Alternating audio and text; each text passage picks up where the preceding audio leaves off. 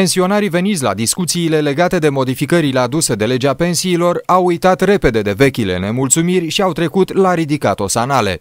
Noi am făcut o adresă la Casa Județeană de Pensii și vreau să-i mulțumesc domnului director că a dat curs adresei noastre și în pus în mod acum am făcut un parteneriat în legătură cu discutarea în detaliu a acestui act normativ de către pensionarii actuali. Felicit uh, conducerea Casei Județene de Pensii și pe domnul director.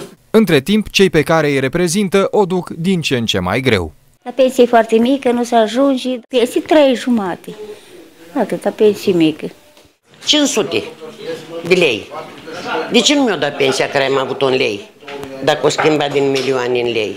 Nici jumătate nu mi-o dat din pensia care am avut-o. Ce faci cu 500 de lei? Vreau să-i întreb și eu toate s-o scumpit.